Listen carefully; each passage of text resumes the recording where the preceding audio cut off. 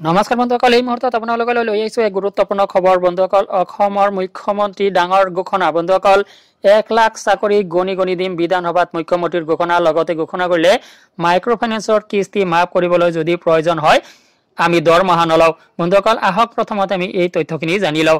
ইয়াতে চাওক এক লাখ যুৱক যুৱতীক দিয়া হ'ব চাকৰি বিধানসভাত মুখ্যমন্ত্ৰী ডক্টৰ শৰ্মা।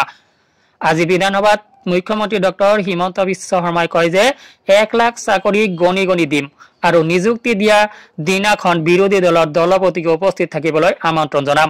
এক লাখতকৈ এটাও কম নহয় বৰং এটা বেছিকেহে চাকৰি দিম।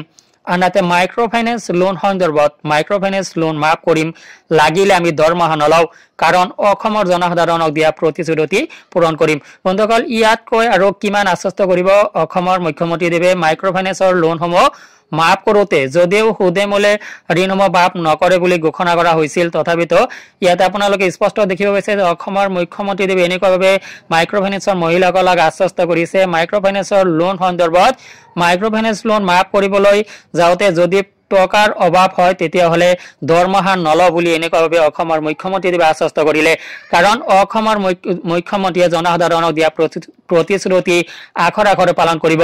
বন্ধুসকল ইয়াৰ পিছতে চাওক মন কৰিবলৈ জেগা ৰাজ্যত নিযুক্তিৰ ক্ষেত্ৰত ইতিহাস সৃষ্টি কৰি বিজেপি নেতৃত্বাধীন ৰাজ্যৰ ৰাজ্যৰ প্ৰথম চৰকাৰখনে যোৱা পাঁচ ফেব্ৰুৱাৰী দিনটোত ঊনত্ৰিছ হাজাৰ সাতশ একগৰাকী শিক্ষকক প্ৰদান কৰিছিল নিযুক্তি পত্ৰ সৌৰসজাই ষ্টেডিয়ামত চৰকাৰৰ এই সৰ্ববৃহৎ নিযুক্তি সমাৰোহত ষোল্ল হাজাৰ আঠশ আঠচল্লিছ গৰাকী শিক্ষকক প্ৰাদেশিকৰণৰ জৰিয়তে আৰু তেৰ হাজাৰ দুইশ সোতৰ গৰাকী টেট উত্তীৰ্ণক মুখ্যমন্ত্ৰী সৰ্বানন্দ সোণোৱাল আৰু শিক্ষামন্ত্ৰী ডক্টৰ হিমন্ত বিশ্ব শৰ্মাই আনুষ্ঠানিকভাৱে নিযুক্তি পত্ৰ বিতৰণ কৰিছিল। উল্লেখযোগ্য যে অসমত বিজেপিৰ নেতৃত্বত পুনৰ চৰকাৰ হলে প্ৰথম বছৰত এক লাখ চাকৰি আৰু পাঁচ বছৰত দহ লাখ যুৱক যুৱতীক জীৱিকাৰ ব্যৱস্থা কৰি দিয়াৰ প্ৰতিশ্ৰুতি দিছিল ডক্টৰ হিমন্ত বিশ্ব শৰ্মাই। ইয়াৰ উপৰি মুখ্যমন্ত্ৰী ডক্টৰ শৰ্মাই কয় যে যোৱা পাঁচ বছৰত কোনো সাম্প্ৰদায়িক সংঘৰ্ষ হোৱা নাই। নতুন অসমৰ বুনিয়াদ আমি নিৰ্মাণ কৰিছো। যোৱা পাঁচ বছৰত অসমলৈ শান্তি আৰু প্ৰগতি আহিছে।